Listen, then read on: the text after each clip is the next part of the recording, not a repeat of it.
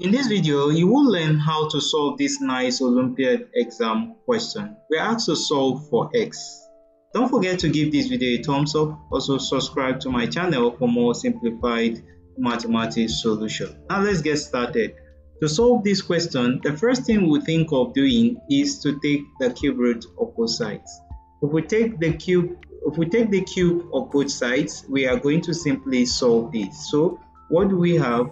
If we are already given the cube root of 2 to the power of x minus 4 equal to 16 all we need to do is to take the cube of both sides. And that cube the reason why we are doing that is to clear the cube root. So if we take the cube of both sides we are going to have that expression to now give us 2 to the power of x minus 4 all to the power of 3 equal to 16 to the power of 3. So this will clear this and then we'll have our 2 to the power of x minus 4 to be equal to 16 to the power of 3.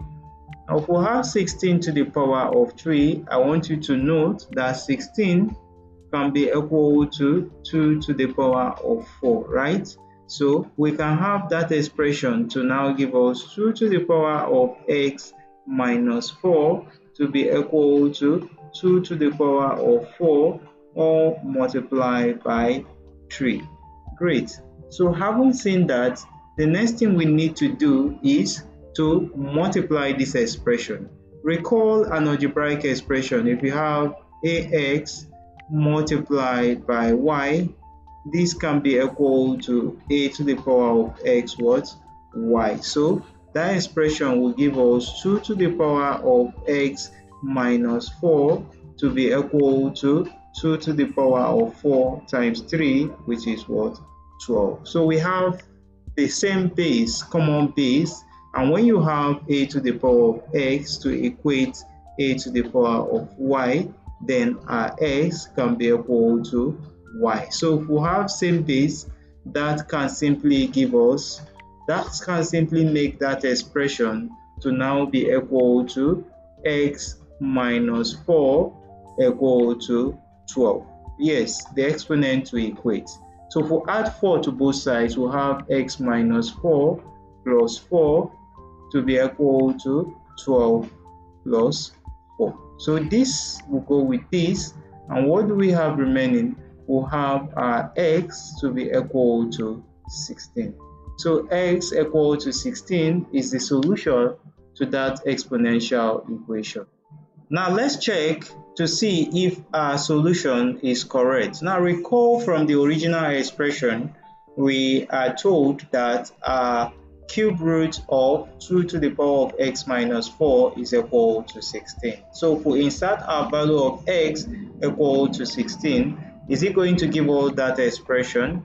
We have the cube root of 2 to the power of x minus 4.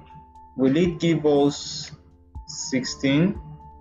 Now let's check out that we have our x to be equal to 16. So that will give us the cube root of 2 to the power of 16 minus 4.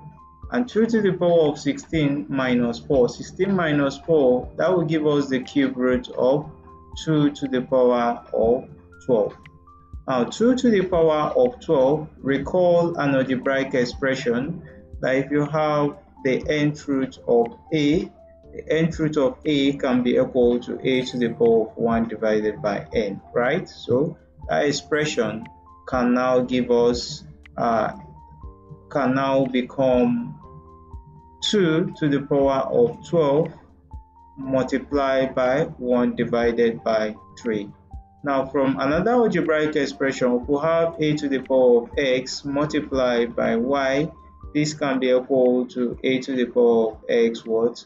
Y. That expression will now give us 2 to the power of 12 multiplied by 1 divided by 3. So 3 here 1, 3 will give us 4.